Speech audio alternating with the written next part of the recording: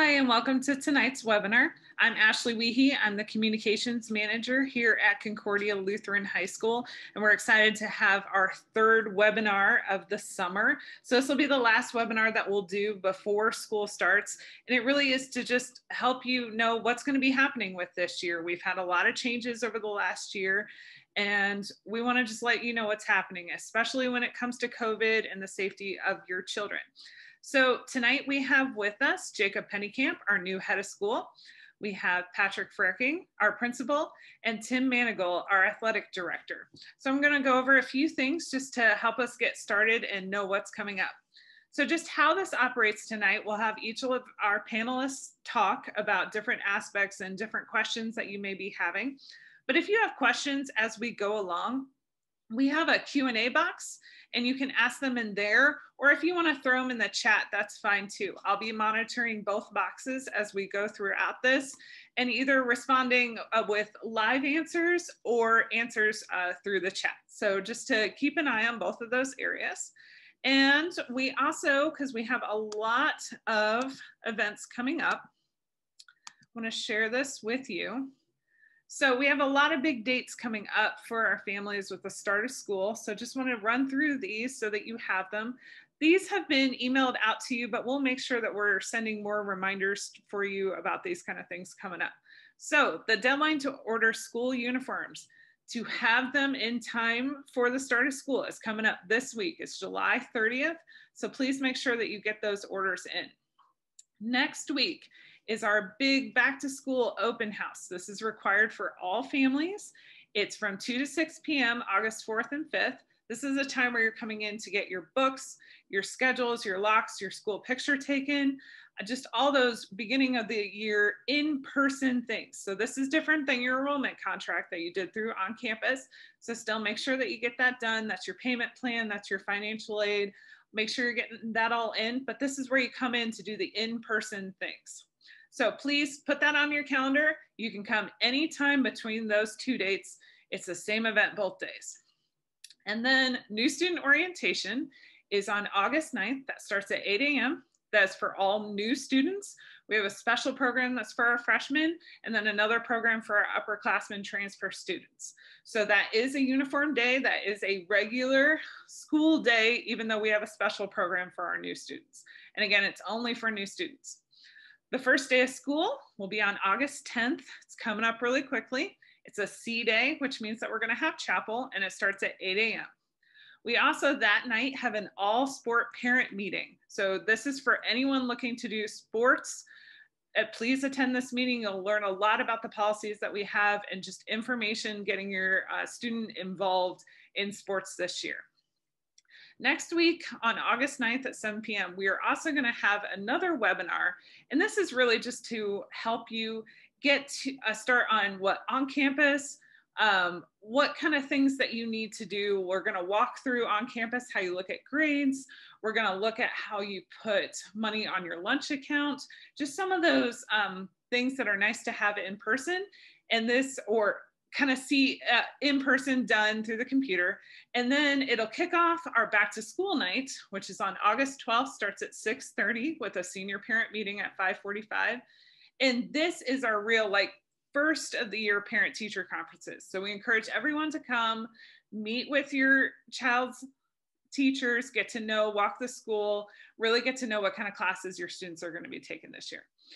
And I've gotten a lot of questions about yearbook deliveries. As with everything, we know that COVID has caused some delays with shipping and production. So we are really hoping to have our books in by mid-August, which means that we're hoping to have the yearbooks out to those students that already, already graduated, that they can come and pick those up in the school office. And then we'll deliver the rest to students who are uh, still in the school. We'll deliver those to the classroom during the school day.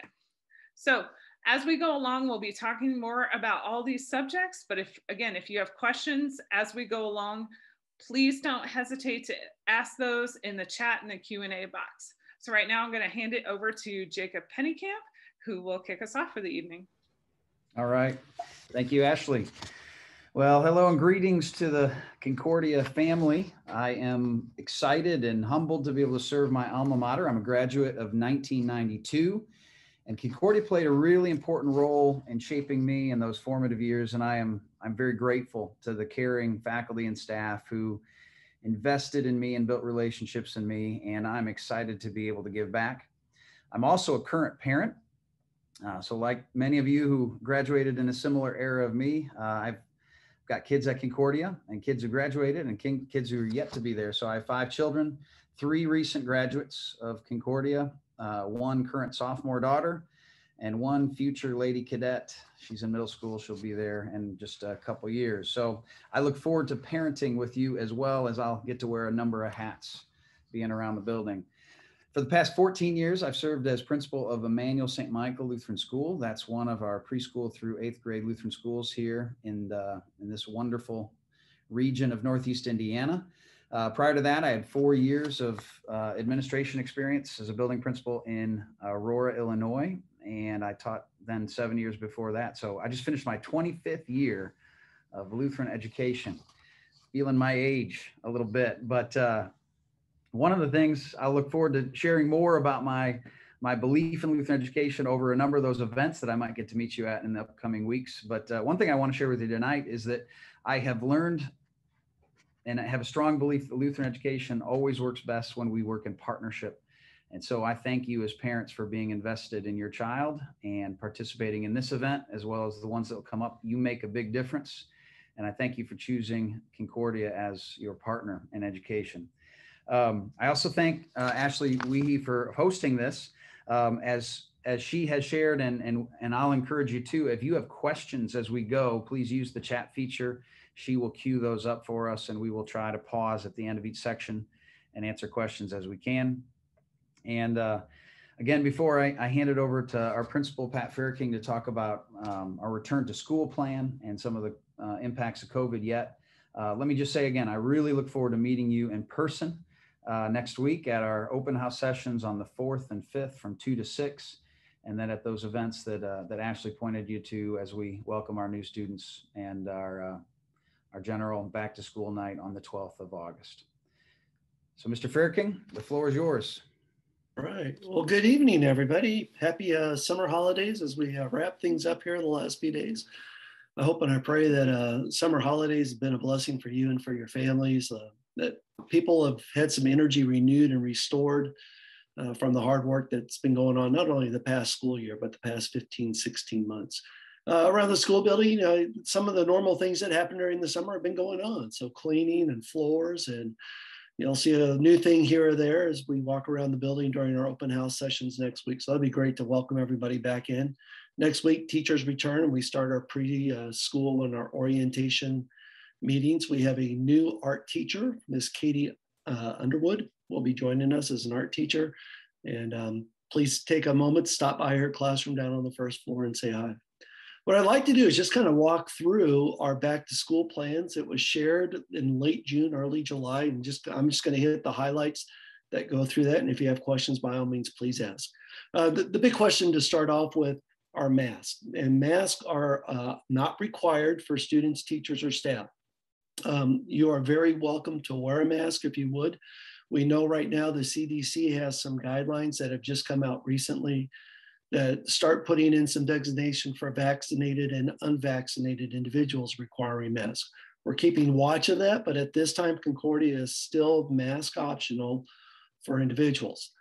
Contact tracing and social distance. We will continue as best as we can to keep students uh, six, or sorry, to try to keep students three feet and further apart. The definitions for uh, contact tracing and when we have to go through those protocols are still the same as what they were in the spring. So three feet for a distance for a time of uh, 15 minutes or more. But as far as who gets tapped on the shoulder and has to exercise a quarantine following a close contact changes with vaccinations. So individuals that are fully vaccinated and they can confirm that they are fully vaccinated with us at school do not have to go through quarantine uh, situations or through quarantine protocols for individuals who might be identified as a contact or through contact tracing as a close contact who are unable to confirm vaccination, then we exercise the 14 day along with the options for a seven day and an 11 day uh, quarantine. And so those are the same protocols that we at the high school were following last spring. Again, we're keeping our eyes open and, and continue to be in conversation with our local health department regarding what's going on with some of the um, for, uh, variations and, and, variants of different COVID strains that might be out there. Uh, we are watching carefully the um, the current trend with this, and, and we pray and we hope that we are able to be as much as we possibly can in a normal situation. I think one of the things I really want to share with you is as much as we possibly can, we want people in the building. Uh, we see some tremendous results of that from this past school year. Recently, over the last couple of days, students and teachers that were part of AP classes have received their scores. Um, at Concordia, we will share this a little bit more formally, but just tremendous evidence for the favorable for those of us that were able to be in person as school and school communities throughout the United States using or demonstrated through such thing as the AP exam scores, those standardized tests. And hats off to our teachers and our students of last year's AP classes. You knocked it out of the park. We are so happy and we are so proud of you. Uh, jumping back to our back to school plan, as far as the vaccine itself, Concordia is not requiring that the COVID vaccine be administered to students or to teachers. Um, again, that's a family decision as far as what happens and how you choose to go through the vaccine if you choose to or if you don't choose to. The advantage for that is in those close contact identifications, as we just explained a moment ago. Uh, remote learning uh, will take place if needed, if we have to shut things down, if we get a outbreak of this that gets to the point where it's better or safer for us to put the uh, community into a quarantine or into an isolation element for a little bit of time hopefully uh, we don't have to exercise any of those sort of plans or any of those sort of exercises this upcoming school year. As far as just some of the daily routines around the building, we're still going to be cleaning and sanitizing the building uh, faithfully after classes uh, at the end of the school day as we had this past school year. And not only with COVID, but we just saw a dramatic decrease in the amount of cold and flu absences from students through the course of the school year with that as well. Our daily schedule, Concordia uses a modified eight period uh, block schedule. We break that into odds and even days. And so most of our class periods or most of our school days have four class periods. We are in it reintroducing E days into our schedule this year. E day is when all eight class periods meet for a shorter duration of time. And so on an E day, we just follow the straight one, two, three, four lunch, five, six, seven, eight class period. Uh, we're going to continue to exercise the protocol of one-way staircases in the building. We found a lot of uh, positive movement. It just helped keep the, the flow within the building, especially around the stairwells, moving more favorably. So staircases will still be designated as either all up or all down as we go from one place to another. Another little subtle change for us is lunch. Last school year, students had lunch in a classroom based upon their fifth or their sixth period class, and lunch was delivered to them. We're going to keep some of that, but we're going to change some of that a little bit as well. During the lunch period, those people or those individuals that would like to have lunch, they go to the cafeteria to collect their own lunch. So we are not distributing lunches to classrooms. Students then go to a designated or assigned space that, um, that they'll learn about um, as we get ready to start the school year, where they will then eat their lunch. Here's how it's going to work. Seniors are going to stay in the cafeteria. We want to give seniors some opportunity just to create some social time, feel that the cafeteria is the best place for that to happen during the lunch period. Juniors will be assigned to classrooms on the third floor, sophomores assigned to classrooms on the second floor, and freshmen assigned to classrooms on the first floor. We're going to just see how this works for us during the first month of the school year.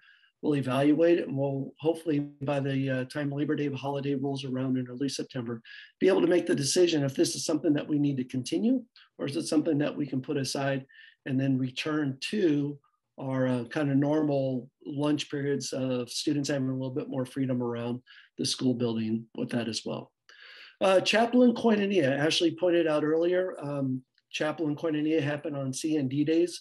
We are going to do something a little bit different on the first day of school from the past years as far as the assembly time. So our first two days of chapel and koinonia are actually going to be on the Wednesday and Thursday of that first week of school. Last year, we had four different chapels, or we did chapel at 25% capacity. Again, during the first month of the school year up until Labor Day, we're going to exercise chapel with 50% of our student body. So on a C day, if uh, 50% of our koinonia groups will be at chapel, the other 50% of the students would be in their koinonia group, and then those two groups just flip on the next day with that as well. Again, students will be assigned to an area where they will eat freshmen, sophomores, and juniors assigned to classrooms on the first, second, or third floor. Seniors will be allowed to go to the cafeteria and have their lunch in the cafeteria with that as well. As soon as we're able to and, and able to kind of open things up, then club meetings and activities and some of the other things that we like to have happen during the lunch period would be able to resume. Uh, student lockers. Students will be assigned lockers going back to the old fashioned way at Concordia where lockers are given by grade level area. So seniors, you get your senior hallway this year along the second floor. Uh, let's see if I can get all this right. Freshmen are down on the first floor. Our juniors are up on the third floor. And then the sophomores are scattered at the end of the hallways on the first, second, and third floors. So some of the locker distribution and the lunchroom assignments, they kind of coincide a little bit, especially for the freshmen and for the uh, juniors in that area with that as well. Book bags. We're going to ask students to keep book bags in their locker and go to and from your locker to collect whatever books and other materials you might need through the course of the day as needed. So that kind of goes back to some of the old fashioned way as far as way high school would work in the past. Last year, uh, just to decrease the amount of traffic around um, lockers, we allowed students to carry their book bags throughout the building. This year, book bags stay in the uh, locker that is assigned to them. Drinking fountains, just like last year, the drinking component of it is turned off, but the bottle refill station element is still open and still going on with that as well. So students, please bring a water bottle. You can fill that out, carry that water bottle with you through the course of the day as well. Let's see, Ashley, are there any questions that you would that have popped up as I was kind of running through all of those different pieces? The only thing that I would reiterate is if you have any questions about this plan or any concerns, please contact us and we'd love to have that conversation with you.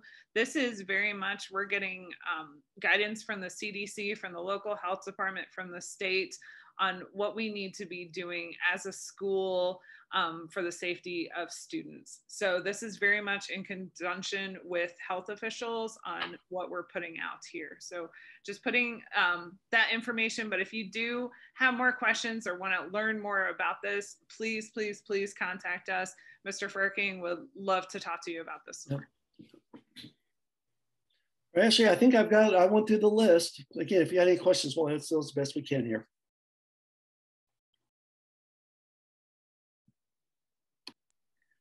I think we're great. I am skimming through some things right now. Um, so uh, it looks like oh, we had a question about on campus. So some issues with logging in. On occasion, we do have some people who have issues logging in and it could just be like your password changed or sometimes Blackbaud, like any software will just, you know, glitch out on their server and you can't get in right at this moment. So please keep trying again and again. And if you're still having problems, call us. I mean, I try like a half an hour later. I'm not saying try, try, try for days. Call us within a half an hour um, or email us. Dawn Schuler is a really um, been working well with everyone to get um, people into on campus. So if you're having problems, please call the high school and she'll be able to help you get you in. Ashley, is Dawn hosting a on-campus uh, seminar? Is that in conjunction with the? Yes. The yes. So that's going to be uh, next week on August 9th. So that'll be really a walkthrough if you haven't gotten into on campus very much you want to know how to check grades for your students see their schedule just kind of the ins and outs of things that you should know for on campus this is definitely something that you should tune in for and if you can't we're going to record this we're going to send it out same thing with tonight's webinar um, so you'll have that information we'll make sure and post it on our youtube channel and email it out to our parents thanks jake but I think that's all the questions that we have. And oh wait, hold on. Sorry, I'm getting some more in. Okay. Um, Yes, I can probably answer this one. So um, there was a question about the book bag policy. So this has been an involving document of some changes over the summer. So yes, some things have changed since we put it out, since even we talked this afternoon. So yes, the book bag policy has changed, that it is something that they will have to keep in their locker and we'll make sure and update that on our website so that you have that document that's correct because um, things just keep changing. So we'll let you know about any changes. Um, and um, yes, I think that is all the questions that we have for this moment. We're going to keep an eye on it. And um, Jake, unless you had anything else to add, or Pat, I think we're handing it over to Tim Manigal. All right. Thanks, Ashley. Um, on behalf of the athletic department, we're excited about the 2021-22 season that has really begun in earnest the first weeks of June, uh, starts officially on Monday, August 2nd. And I tonight would like to make, uh, on behalf of the department, three separate announcements, all of them hopefully exciting. The first is that um, we are going to have, beginning in the fall with our first volleyball game, our athletic events at full capacity. I know this was a source of great frustration and understandably so last year that um, really just parents were able to attend athletic events. Now um, we think we have the venues uh, that will be able to hold people. Certainly Zollner Stadium, we can hold 5,000 people. That shouldn't be an issue. And um, we think our gym is um, COVID friendly enough that we should be able to be at full capacity. I do think it's important to understand, though, that the situation is fluid. And I, certainly, you know that at this point, I would assume. We could hear something in the next few weeks uh, from people who have perhaps a bit more authority than we do that that's not a good idea. And if and when that happens, then we need to be prepared as an institution to change the policy on attending athletic events. I don't necessarily foresee that happening, but I'm not a prophet either. So we hope that um, we can continue to keep all athletic events at full capacity. That is our intention going forward as we sit here tonight. Uh, the second item, which also should be excellent news, it certainly is from our perspective, is that all students at Concordia will receive free admission to all athletic events, all home athletic events at Concordia in the 21 22 season. This applies also to all fine arts events. Uh, I'm speaking specifically tonight about athletic events, and I'm going to talk here briefly about how students can access um, those tickets. But it is important to note that every student will have access to any home event, provided it's not um, a sectional tournament event all students will have access to those home events for free. We're certainly hoping that the students will take advantage of it. There is really no greater home court or home field advantage than when Concordia students are there and are cheering loudly for their team. And it just does a lot for the school in general in terms of spirit and um, it, it's just a fun time. So we hope that all students are able to take advantage of that. Now, in conjunction with announcement number two is the fact that we at Concordia are moving towards online ticketing for the 21 22 uh, athletic season. We are not going to offer tickets in, in, in, the traditional way. We are moving to an online ticketing system called Ticket Spicket. That's Ticket, T I C K E T, Spicket, S P I C K E T, Ticket Spicket, one word. It is an online ticketing agency that we used throughout the course of the spring successfully. In fact, it was much smoother than I ever anticipated. We are moving to this as our sole distributor of tickets for the 21 22 school year. There are going to be a multiple number of ways to get those tickets. This is going to be outlined for you in a blog post that I believe Ashley will come out probably tomorrow that I'm going to write on the Facebook page. Um, we're going to publish this on Facebook, on our website. We're going to get it out in a multitude of various ways. Long story short, everyone will need to purchase their tickets through that agency. If you want to purchase a pass, you will purchase your passes through that agency, whether it's a family pass, a student pass, uh, an adult pass, or a senior citizen pass. You will purchase, or a punch card pass. You will purchase those passes through Ticket Spicket as well. And we encourage you to do so. Purchasing a pass allows Concordia to keep all of the money generated in terms of revenue uh, from athletic events. If you buy at the gate, we have to split that money with the schools that we that we play, particularly when it's an SAC conference game. There's nothing necessarily wrong with that, but we would certainly like to keep the money ourselves if possible. Um, so you, purchase through Ticket Spicket. That will be again an online service. You will need to use either a debit card or a credit card to purchase those tickets. The best plan, again, A is to buy a pass, or B, if you choose not to go that route, to buy your ticket via the pre-sale method. So the tickets will be on sale before the event. You buy the ticket pre-sale, you come to the gate, you've got it on your mobile device, on your phone, and you show it at the gate and you walk in. now we know, we know that everyone won't do it that way. So we will have QR codes available at the gate. Uh, we're gonna try to set up little kiosk stations, much like you might see at the mall, where you can scan the QR code and you can get in that way.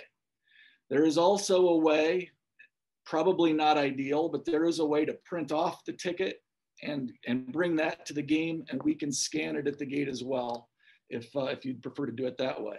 Personally, it's probably best to keep it on your phone. Um, that's sort of the way the world is moving and that's what we would uh, probably prefer here. I know that that's a culture change and a sea change for Concordia.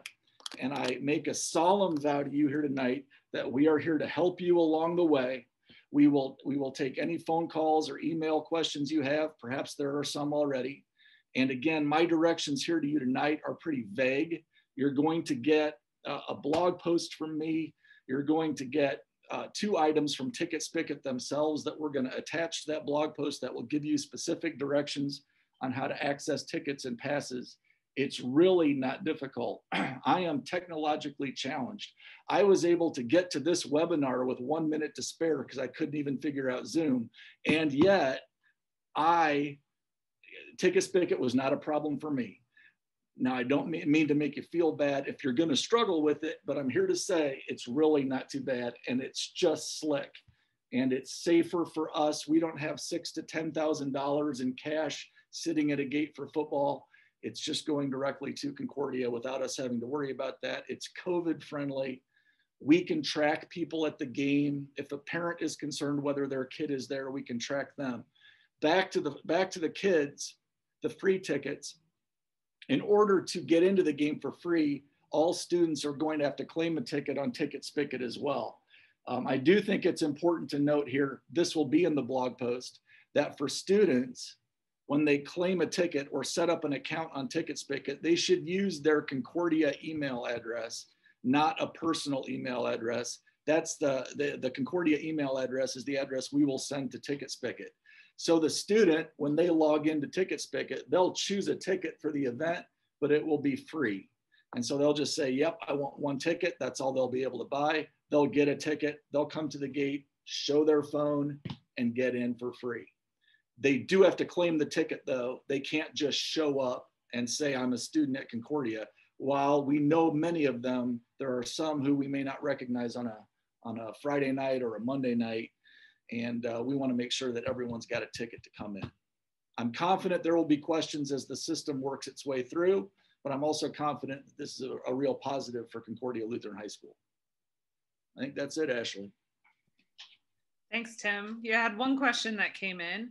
Uh, they were wondering if there's any fees associated with the purchase of tickets through Ticket Spicket. There is. There is a uh, there's a 50 cent or so fee per ticket.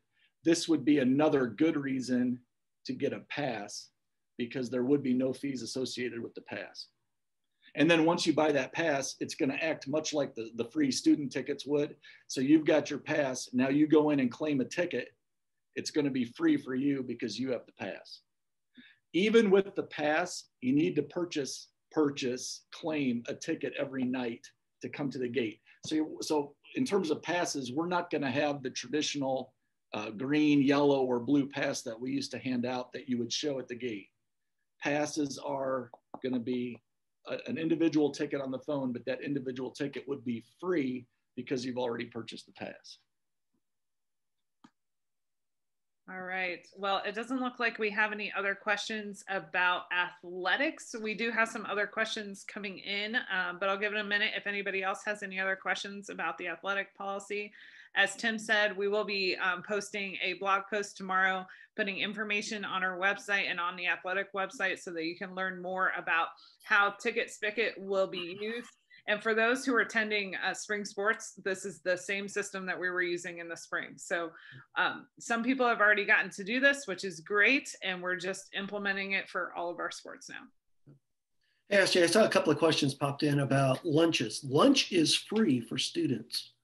And um, they do not need to pre-order. Last year we were pre-ordering meals. This year there's no pre-ordering. We start the year, if you want lunch, go to the cafeteria uh, whatever is being offered available that day, pick it. There was another question as far as wearing a school uniforms during the open house for the photos. So students said, uh, we asked students to, uh, to attend our open house sessions coming up next week.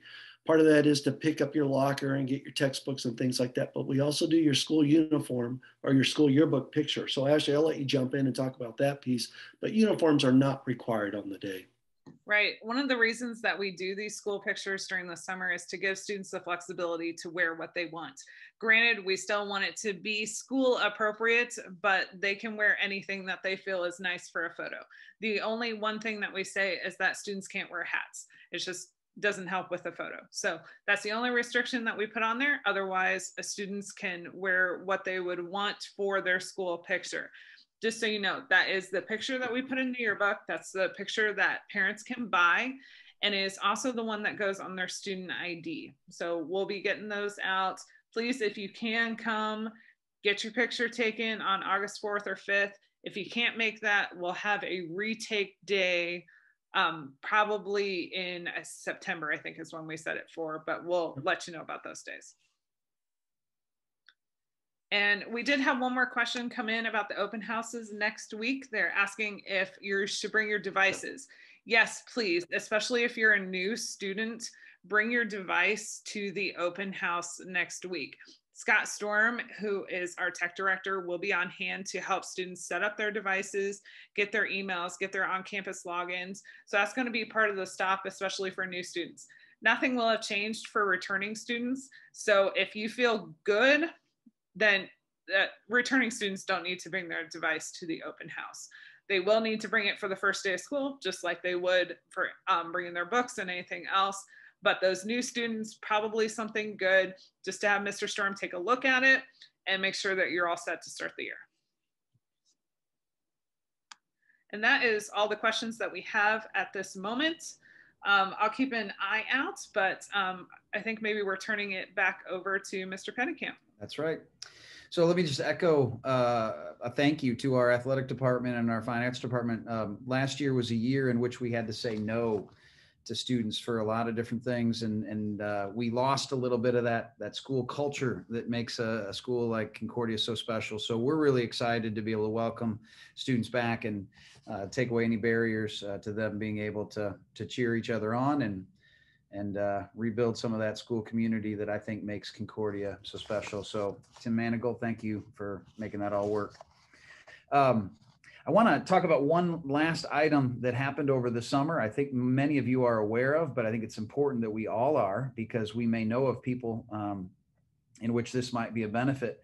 But uh, education, especially parochial education at a school like ours, is expensive. There's just no way around it. And as a parent, I understand that uh, as well. It takes a commitment to attend Concordia Lutheran High School. Yet at Concordia, we're really committed to trying to make sure that uh, quality, Christ-centered uh, education is uh, attainable and, and, within reach. And it's the real reason that we are a participant in the Indiana School Choice Program, which has gone through a remarkable um, and significant uh, change as of July 1 so the state legislature on July 1, um, the law went into effect that expanded household income limits, increased the amount of each choice scholarship, Um, and uh, and while the pathways and the tracks are still required, there are definitely ways that we can help every student that fits within those household income limits potentially receive a really significant scholarship amount.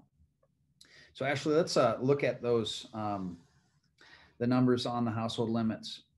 Um, the increase in the household uh, income limits means that a large majority of our students we anticipate being able to um, uh, receive a choice scholarship uh, as long as they have an established pathway or track. Um, the table is available also on our website. So if this goes by too quickly, uh, you just need to go to admissions and scholarship and look on the right hand side for Indiana Choice Scholarship. If you believe that your family may qualify, I encourage you to reach out to our Director of uh, Financial Aid, Debbie Shum. And on our last slide will be her contact information, but she's also reachable through our school website. Further, uh, the state legislature also increased the value of a choice scholarship pretty significantly. Um, and so these scholarships are still based upon the residence, um, the district of your residence, but the scholarship really could be now about 65% or up to 65% of the total tuition. And I want to encourage all of our families that that does not mean that's the only scholarship that's available to you, depending on your family circumstance uh, there may be additional uh, financial supports available to you. Um, again, this is just a, a means to say that we want every family that truly is willing to make a commitment to drive past perhaps their local public school and, and make the journey here to Concordia.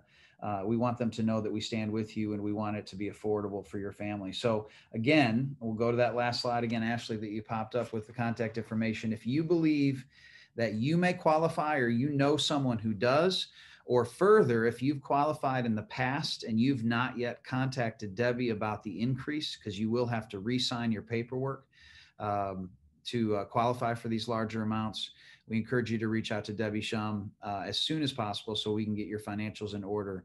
Uh, we have until uh, early September to get students registered. And then beyond that date, uh, we will not be able to, to qualify anybody for the first semester. So time is urgent for you to respond if you believe you might qualify. That's not intended to be a full, uh, you know, training on school choice. Uh, we we hope at Concordia to be able to provide a couple more opportunities for a more in-depth look at this, but I wanted to make sure that you were aware and you're asking questions if necessary.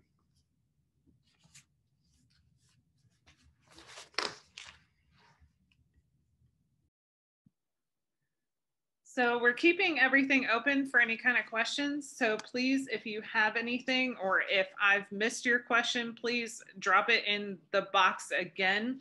Um, sometimes when I share my screen, I can't see all the windows that I need to. So please, um, if you have a question, um, please drop that in now and uh, we'll make sure to answer those. Um, is there anything else that any other panelists wanted to have? We will certainly stay um, stay on for uh, any questions that anyone would have. But um, Jake, is there anything else that you wanted to add? I'm grateful to be part of this team. Uh, we're blessed as parents to have wonderful faculty and staff. It's been a joy uh, to lead with the administrators and the administrative team, and I'm looking forward to the faculty joining us next week. It'll be an exciting couple weeks ramping up to the start of the school year.